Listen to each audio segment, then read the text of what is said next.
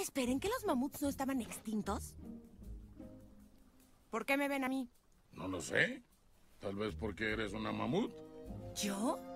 No seas baboso, no soy una mamut, soy una zarigüeya. Sí, no me digas. Yo soy la iguana. Este es mi amigo el tucán y mi gran amigo el ornitorrinco. Ah, ¿por qué yo? Que el ronco ronco sea él, maní. ¿Este soquete te está dando lata, hermana? Así es, ellos son mis hermanos. Zarigüeya, zarigüeya, zarigüeya.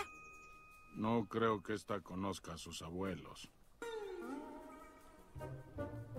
Si estás en peligro de extinción, no te puedes poner tus moños.